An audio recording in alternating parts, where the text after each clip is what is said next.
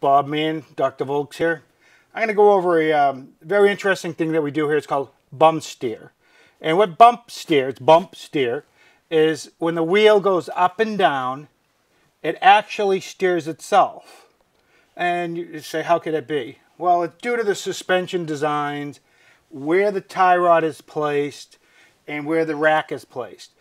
On an ideal world, when the car goes up in the air and comes back down, it shouldn't change the toe.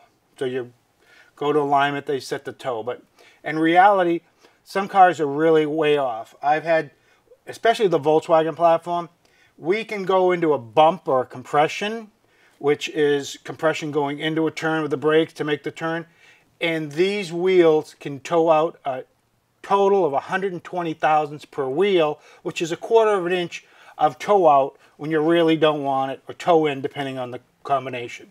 So this is a really neat uh, jig and has a dial indicator on one and a little feeler. And as we set the ride height, which we know from when uh, we check the car, from the center to the wheel, well, we're at 14. And then what we do is we zero off this dial indicator, and then we record it as we go up, as like we're going up. And it measures this. This wheel actually turns in and out. And we record those values. Then we go back and we figure out what we have to do. On this particular car, this uh, 2009 platform to get the bump steer correctly on this thing in through a two inch compression so the car is hitting the brakes going down and a two inch uplifting coming out of the turn we can have a variance of about 80 thousandths per wheel. So that's an eighth of an inch toe in and out. In a racing condition this can be uh, detrimental to it so what we want to do is correct it as you can see, we're all set up. Now I'm going to go through the cycle a little bit and I'm going to watch the dial indicator and I'm going to see what our values are. And as they change, I record them and then we're going to go back down. So this allows me to correct the bump steer on cars in this Volkswagen platform.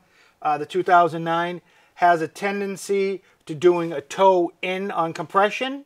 So I want to fix that. I want to see if I can get it 100% where it's just zero as the car goes up and down, the wheels stay straight. They don't do this. Because that's what bump steer is doing, is the car steering by itself. So the fix on this car is to take the inner, the outer tie rod, remove it, convert it to a Hymen, and then build a shank that'll fit into the spindle. Or the other way is to build a spindle. I think it's a lot easier. We've done the Hymen conversion on the race car, and it's worked very well. So uh, this is a neat little way of doing, and that's something that uh, race car builders and racers need to address, and that's how it's done.